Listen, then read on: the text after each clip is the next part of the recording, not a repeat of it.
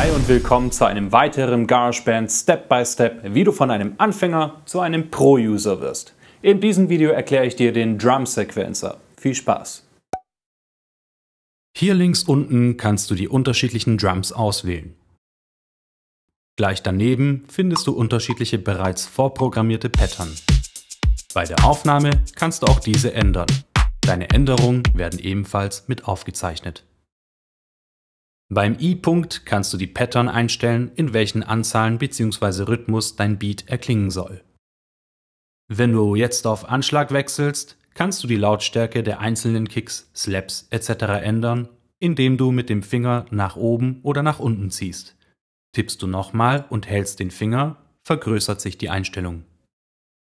Beim Notenwiederholen kannst du ebenfalls die Anzahl steuern, indem du deinen Finger nach oben oder nach unten ziehst.